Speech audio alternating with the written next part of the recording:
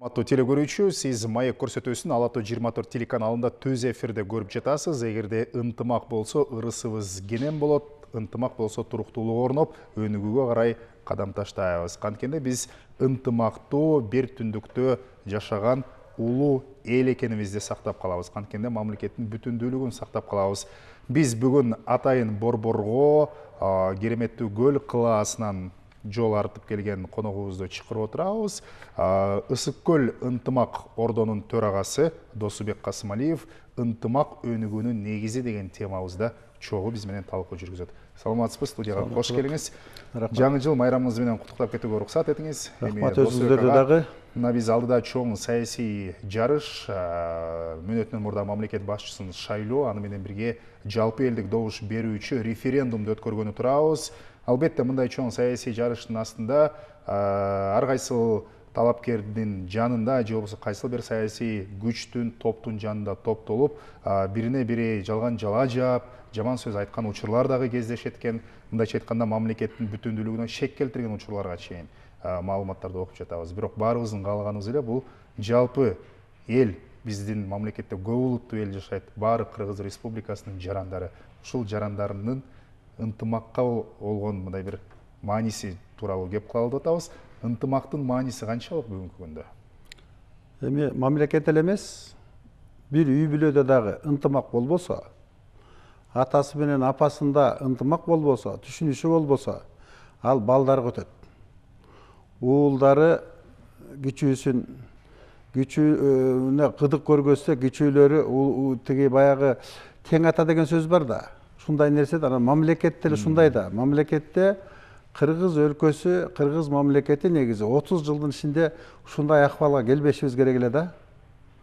Биз дүйнөнү дүңгүрөткөн кошуналардын баары суктанган керек болсо европа америкадан бери бүт дүйнө ааламы бизге бир суктана турган мамлекетти куруп коюш бизге эгемендикти кудай таала бир асмандан түшүргөндөй кылып токсонунчу жылы берди.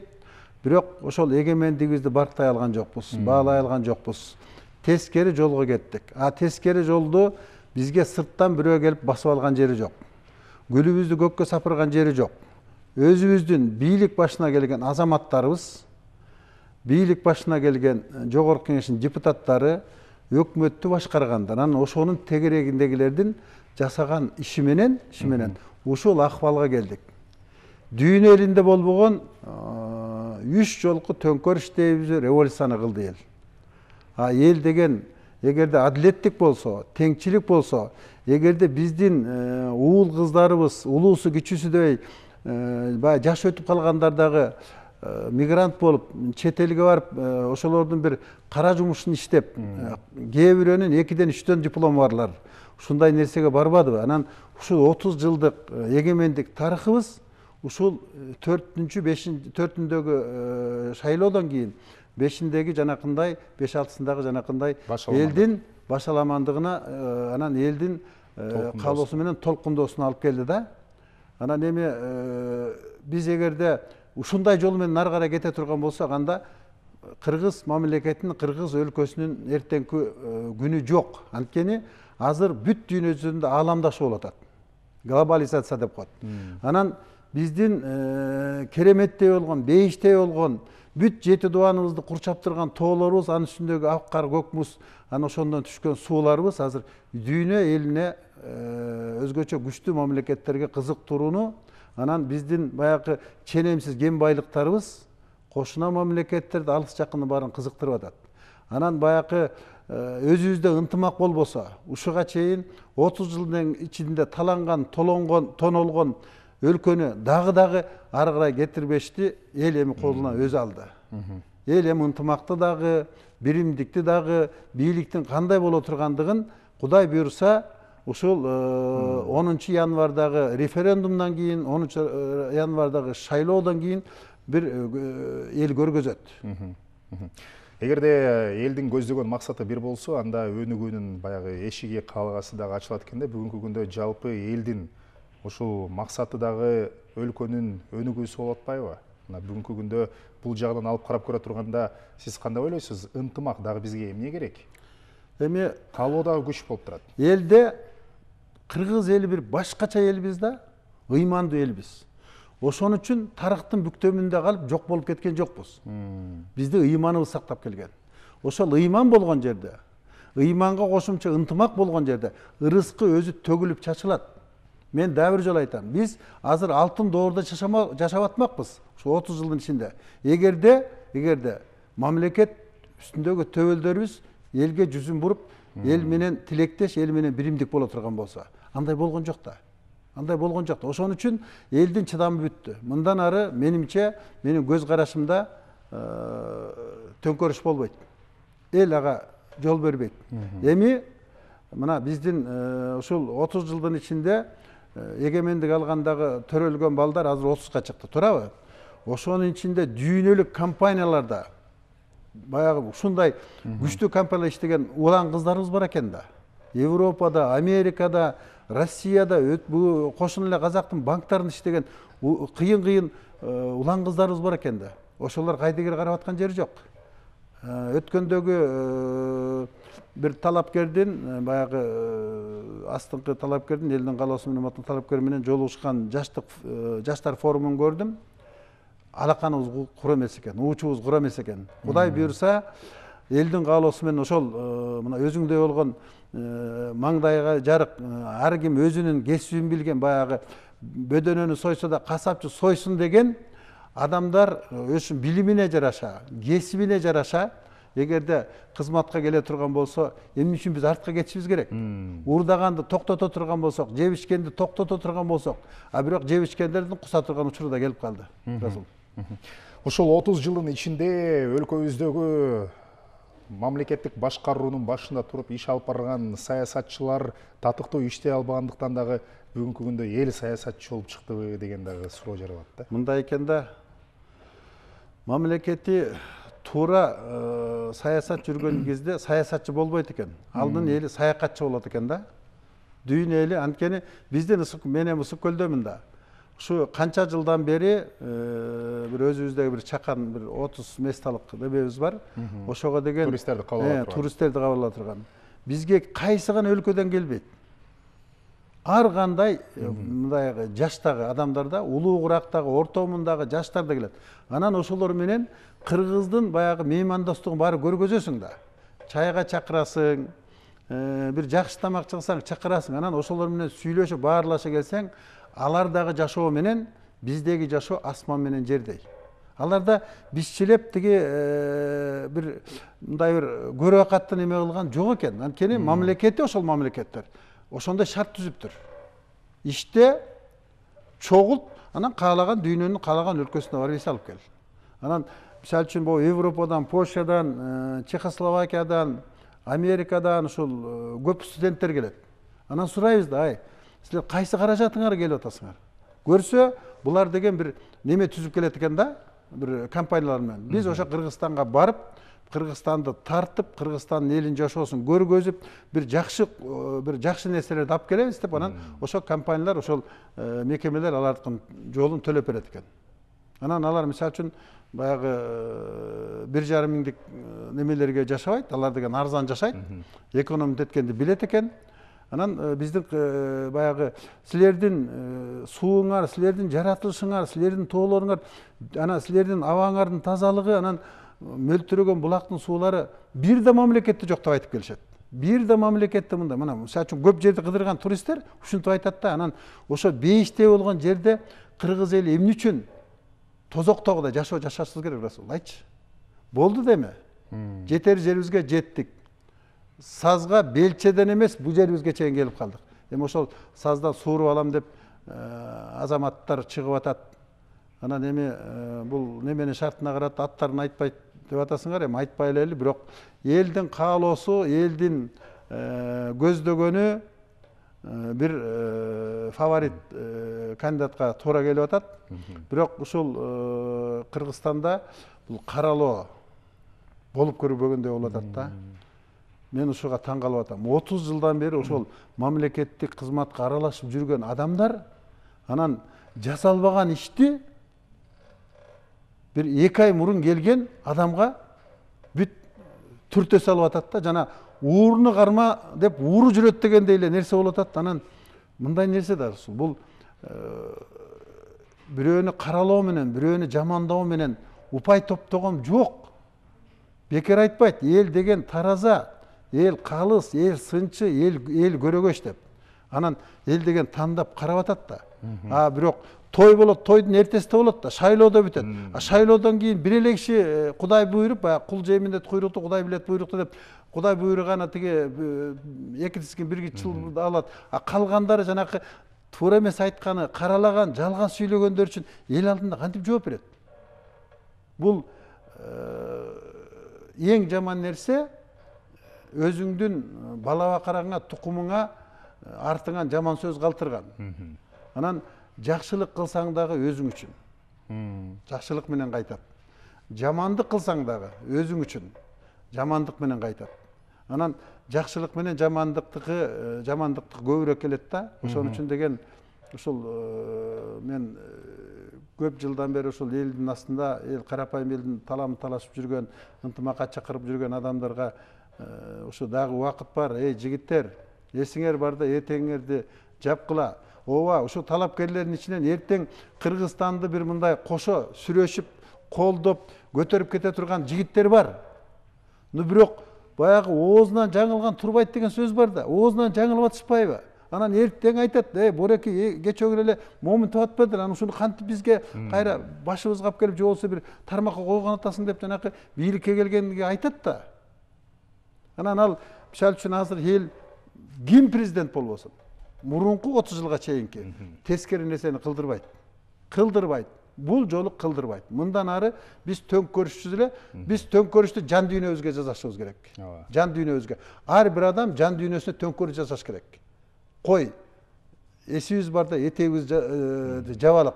Илгерки бабалардын ата бабанын салтына кайталы деген нерсени анан идеологиябызды баягы кыргыздын өзүнүн идеологиясын түзө турган учур келди да мына өнүккөн мамлекеттерди айтып берейин сингапур болобу малайзия болобу южный корея болобу япония болобу ушулардын баары өнүгүүнүн алдында өзүнүн тарыхына өзүнүн салтына кайтыптыр анан ошондо элде ишеним болот экен да. Анткени таянарың болуш керек да таянарың болуш кимге түзөлөсүң ошол өзүнүн мисалы үчүн жапондорго жапондорго өзүнүн салты тээ кылымдардан бери келаткан андан сырткары эми кыргыз эли жөн эле эмеспиз биз аз болгонубуз менен биз саз деп коет го кыргызда сөз бар дүйнөдө беш миң жылдык тарыхы андан көбүрөөк бир жети мамлекет бар өзү менен аталганда мына египет греция иран кытай индия жапония анан биздин кыргыз мамлекети көрдүңөрбү биздин улуулугубуз кайда жатат? А биздики беш миңден да көп тары тарыхыбыз. Анан ушул тарыхтын бүктөмүндө калбаган элдин ушу ата бабаларыбыздын бизге ушул укум жерди дагы башкага бербей ушул бейиштей болгон жерибизди биз деген талатып тонотконго жок болбойт эми мындай болбош керек. Жол көрсөтө турган элди ээрчите турган келечекте мындай бир жарык болуп бере турган алдыбызда жүрүп шам кармай турган ушундай бир лидер келип өлкөнү өнүгүү жолуна алып келет деген ишеним барбы сизде бар. Бар. Ошон үчүн эл көпчүлүк жети дубанда көпчүлүк жол көрсөтө турганды өзү тандап калды уже мына шааке деп коет шайлообек дүйшеевдин бир төрт сабы бар да. Падышалар жолду такыр көрүшпөйт көрөйүн дейт жандагандар көнүшпөйт жолду көрбөй жок болушат акыры жолду көргөн падышалар өлүшпөйт деп. Эми жол киргизер адам келди. Эл ошону каалап атат ошонун болушун. Анын жөнөкөйлүгү анын маңдайынын жарыктыгы анын мындай бир элиме деген мындай элиме кызмат кылам деген андан сырткары тектүүнүн тукуму болуп атпайбы? Кыргызда жакшы сөз бар. Тектүүдөн тектүү чыгат дейт. Тектүүдөн тектүү чыкса тескери иш кылбайт деген. Ошондой тектүү адамдын тукуму келатат ошонун урпагы келатат башынан көп нерсени өткөргөн и башкаларчылап тигини жеп алды муну бул ырыскага кол салды же болбосо кыргыздын эмесине кантип ушуну шайлайбыз деген артында жаман сөз жок бирөө келатат да а бирок ошол калган талапкерлер чогулуп алып баягы арстанды талаган чөөлөрдөй болуп бир мындай бир каралоонун бирок каралоо менен эч ким муратка жеткен эмес кыргыз эли кемеңгер эл кыргыз эли касиеттүү эл кыргыз эли мындай бир табият менен жуурулушкан эл да. Ашыктан нерсени жасаган эмес ата бабабыз ошон үчүн биз балким кудай сүйгөн элбиз да. Бейиштей болгон жеринде турабыз эми биздин мөлтүр булак таза сууларыбыз кайсы өлкөдө бар? Кайсы өлкөдө бар мына казакстанга менен кетип барасаң жүз элүү эки жүз километрге мынтип сузуп ичер суу жок чөл.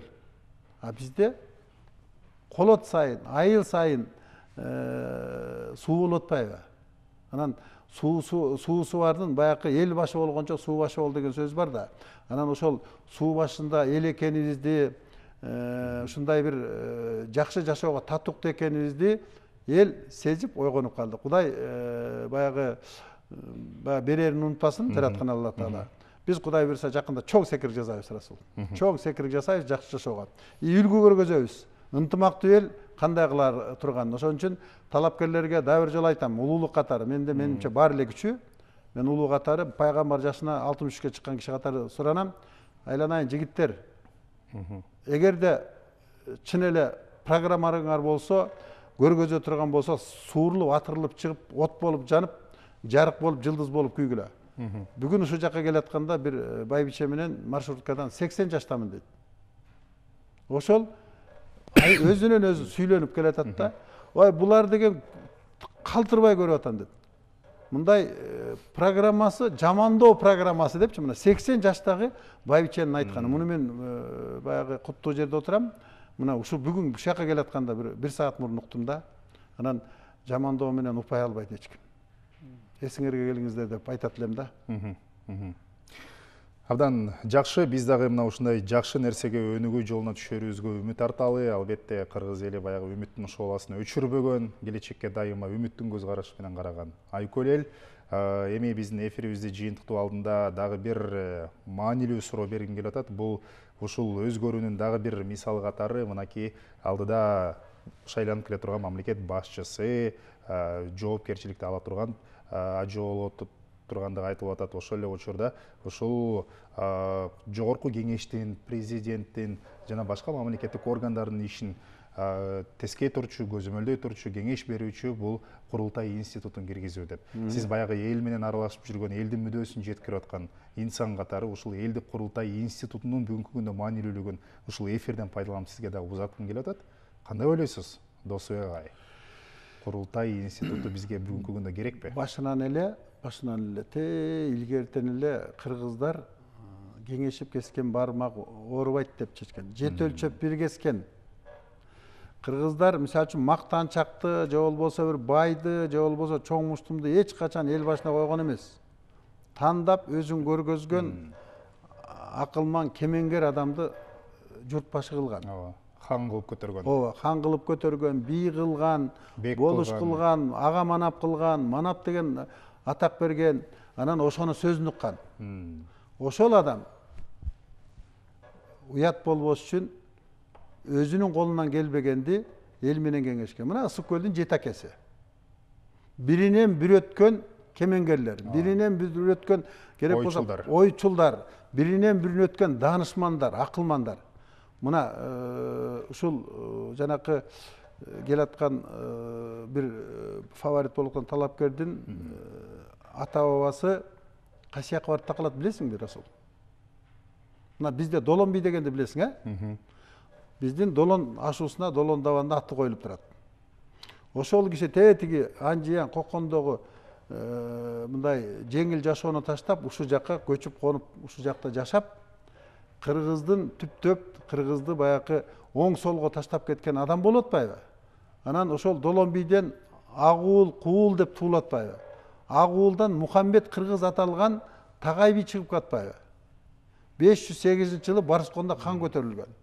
чачыранды элди бириктирген ошол жана сен сен айткандай бир баягы ынтымакка келтирип манасчыларды манас айтып күпүлдөтүп санжырачылардын баарын чогултуп отуруп чачыраган элди жыйнап биримдикке чакырып анан ошондон бери карай тагай бийден келатканда жана арык белек мына көлдө бар да бугулар ошол бугу урусунан чыгып атпайбы андан бир назар бий бир назар бий болсо айтылуу тилекмат чечендин тилекман чечен тондуу баласы ошону багып өстүргөн жол көргөзгөн боронбай султандын акыл акыл акыл атасы сартекенин суранычы менен буреки элдин эртеңки күнү керегине жарай турган жигит көрөсүңөр деп анан ошо тилекман чечен бир эмес үч жолу кыргызды сактап атпайбы кокон хандыгы менен болгондо талашта эч кимиси бара албай корккондо кытайдын императоруна чейин барып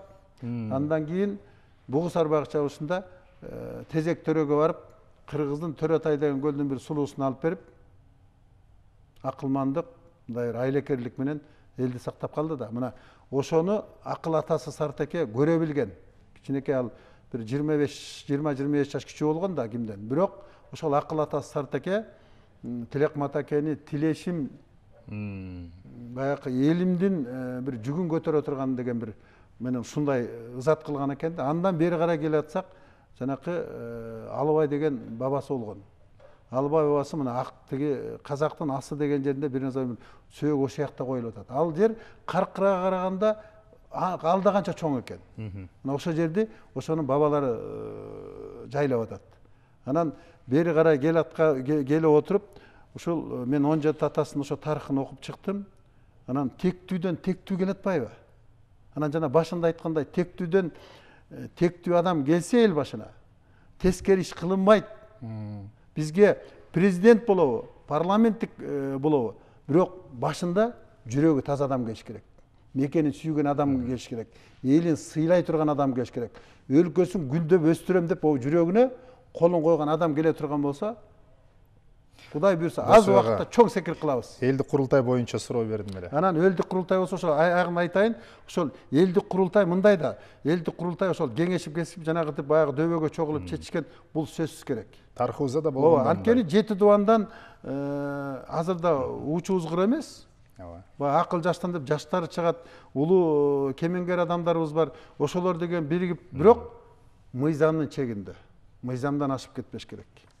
Ошону мындай бир тиги бийлик дагы курултайды жактоочулар дагы ошол курултай системасы дагы бир сөзгө келип болуп туруп укук талаасында. укук талаасына келип анан баягы эртеңки күнү биз мындай кылалы дегенбиз мындай болуп атат деп же болбосо бийлик дегеле аларды кайра тиги куугунтуктагандай болуп туруп баягы кеңешип кесиш керек да кыскасы. Мына курултай сөзсүз керек.